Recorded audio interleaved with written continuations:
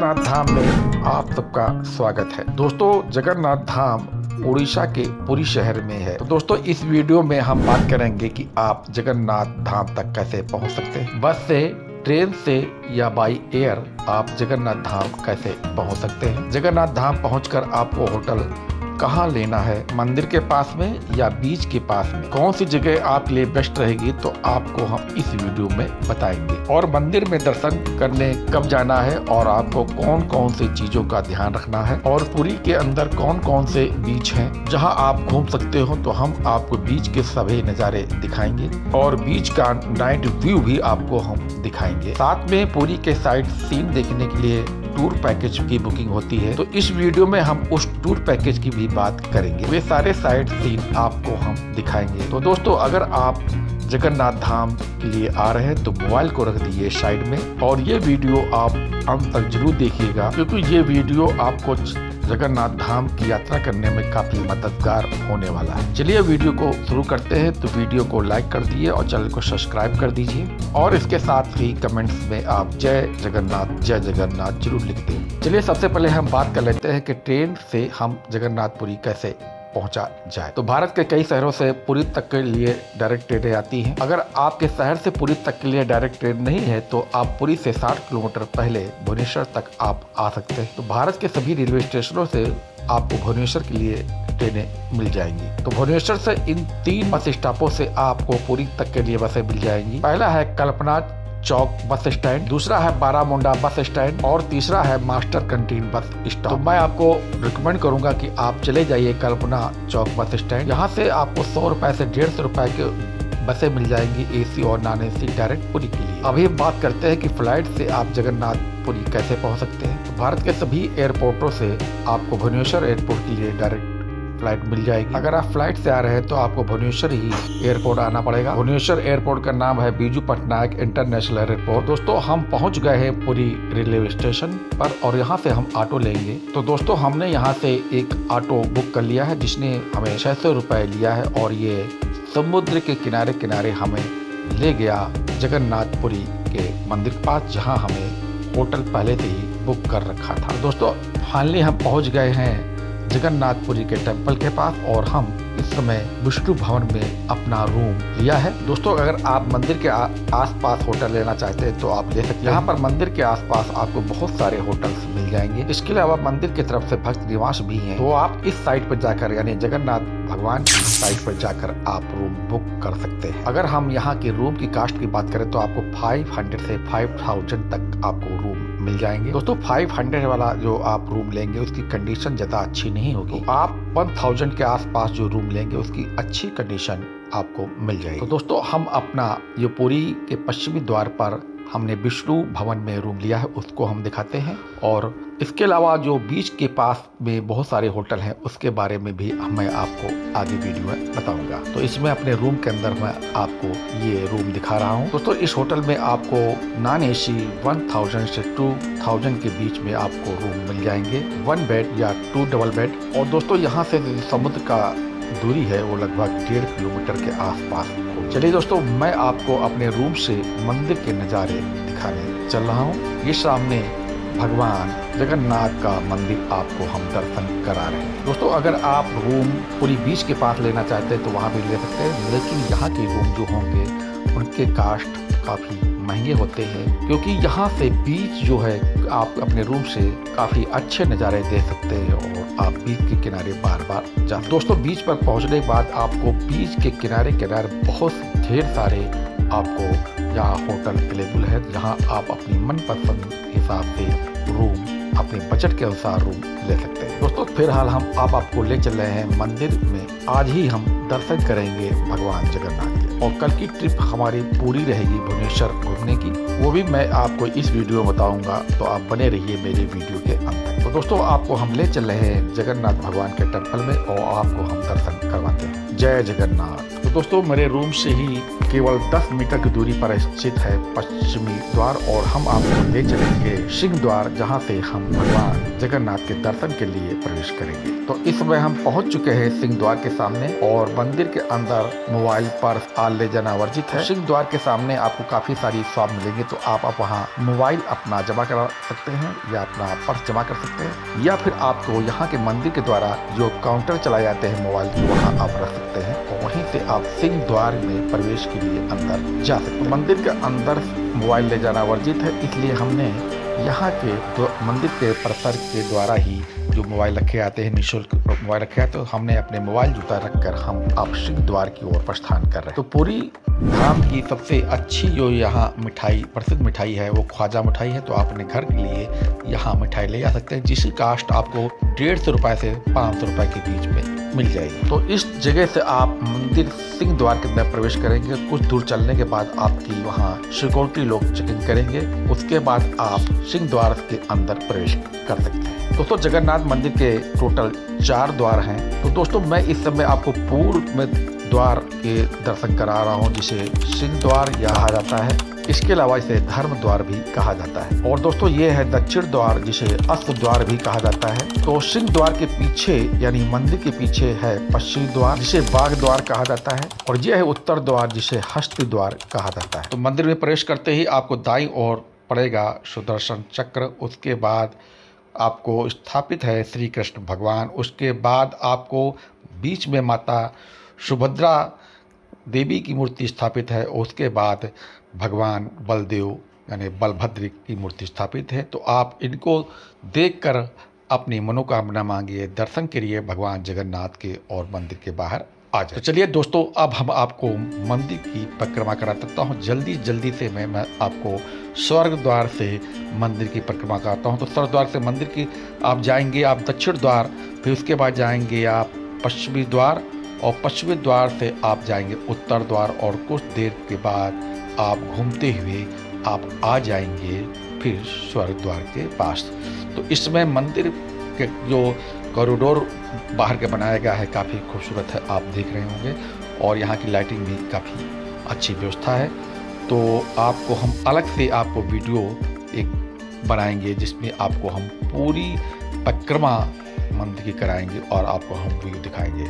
तो इस समय मैं आपको पूरी परिक्रमा करा चुका हूँ मंदिर के। तो दोस्तों, अगर आप मेरे भी ये वीडियो देख रहे हैं तो कमेंट्स में जय जगन्नाथ ज़रूर लिख दीजिए और इस वीडियो को लाइक भी कर दिए चलिए, अब हम बात कर लेते हैं खाने पीने की। आप तो को यहाँ को आपको सौ रुपये से डेढ़ दो सौ रुपये के बीच में आपको थाली मिल जाएगी, जिसमें आप भरपेट भोजन कर सकते हैं। यहाँ का जो फेवरेट खाना है, वो दाल माँ है।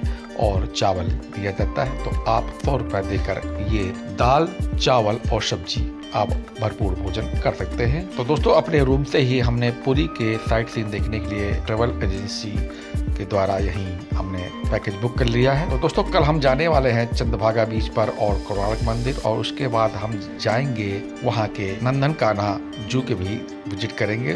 तो इस पैकेज में कौन कौन सी हम स्थानों को विज़िट करेंगे तो आप पूरा वीडियो अंत तक ज़रूर देखिएगा। तो दोस्तों, हमने एक non AC bus route package book कर लिया है और जिसमें हमने तीन सौ रुपये पर पर्सन चार्ज किया है और हम अपने रूम से निकल कर जा रहे हैं उस बस स्टैंड से और बस स्टैंड से हम सबसे पहले आपको ले चल रहे हैं चंद्रभागा नीच। तो दोस्तों, हम अपने बस स्टैंड में पहुँच गए सात बजे और यहीं से पूरी बस भरने के बाद ये अब ट्रेवल एजेंसी द्वारा हमें पूरा भुवनेश्वर घुमाया जाएगा, यानी पूरी के साइट सीन दिखाने ले जाया जाएगा। तो दोस्तों, ऐसे साइट सीन देखते हुए आप पहुँच जाएँगे पहले अपने पॉइंट पर, वो है चंद्रभागा बीच तो चंद्रभागा के व्यू दिखाने के बाद अब हम आ गए हैं कोणार्क मंदिर सन टेंपल दोस्तों, ये मंदिर एक अपने आप में अलग तरह का है। इस मंदिर में कभी पूजा नहीं होती है। दोस्तों, इस मंदिर के इतिहास के जानने में आप हमारे चैनल में जाकर आप ये कोणार्क टेंपल का मैं अलग से वीडियो लाऊँगा तो उसको आप देख सकते हैं। तो दोस्तों, यहाँ आने के लिए हमने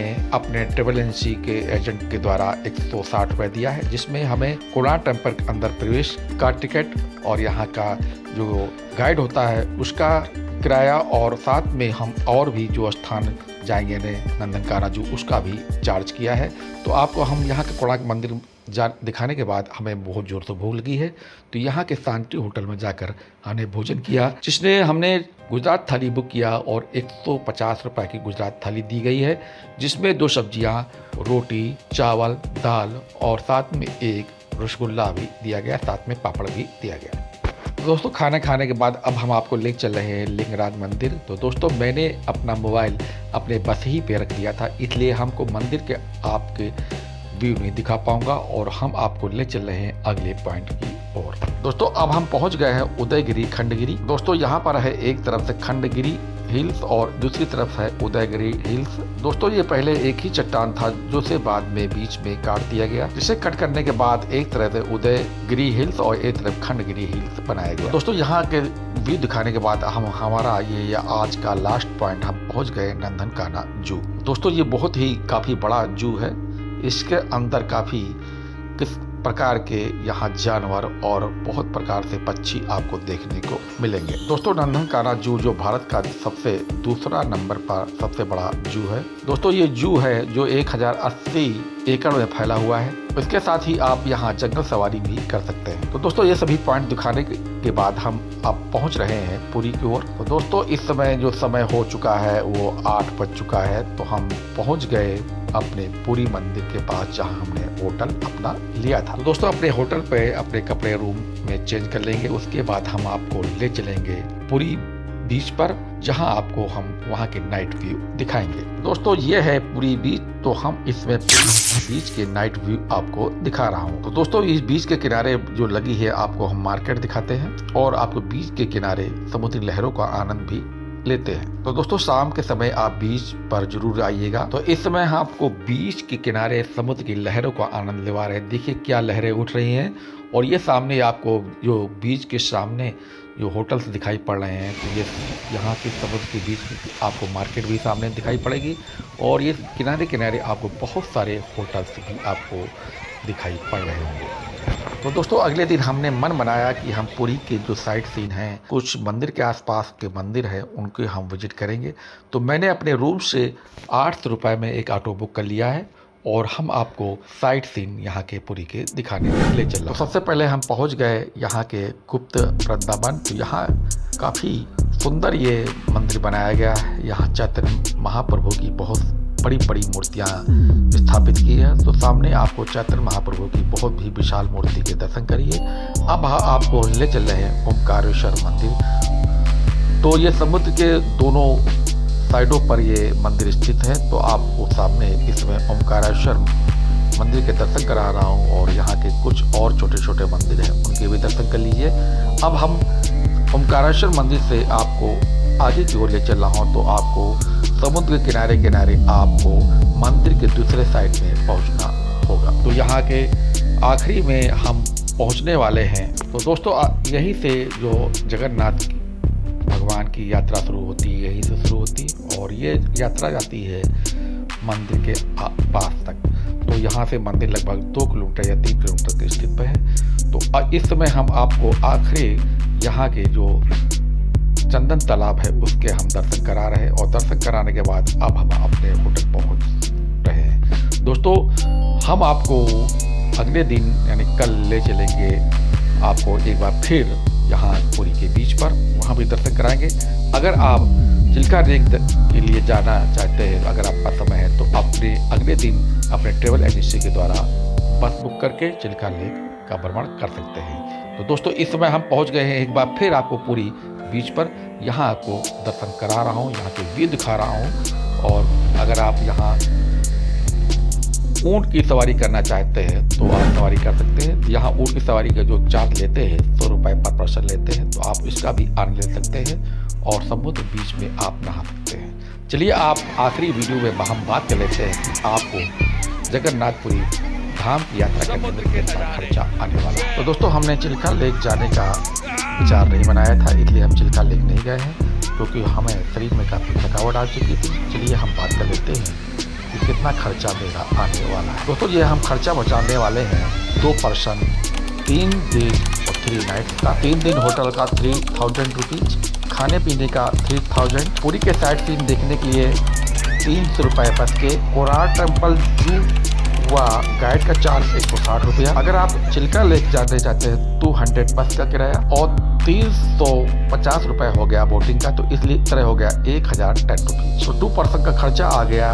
वो दो हज़ार बीस रुपए तो वहाँ का ट्रांसपोर्ट का कम से कम पाँच सौ रुपए का खर्चा होने वाला। है तो टोटल खर्चा आने वाला है eight thousand nine hundred seventy रुपए टू पर्सन के लिए। अगर आप सोलो जा रहे हैं तो फाइव थाउज़ेंड के आसपास आपका खर्च होने वाला है। तो इसके अलावा अगर आप पूरी ट्रेन, बस या फ़्लाइट से आ रहे हो तो उसको आप अलग से ऐड कर लीजिएगा। तो ये हो गया बजट प्लांट। अगर वीडियो अच्छा लगा हो तो इस वीडियो को लाइक कर दीजिएगा। तो चैनल को सब्सक्राइब करना ना भूलिएगा। और कमेंट्स में जय जगन्नाथ जय जगन्नाथ लिखना ना भूलिएगा। जय जगन्नाथ। आपकी मनोकामना पूरी हो। मिलते हैं अपने अगले वीडियो में।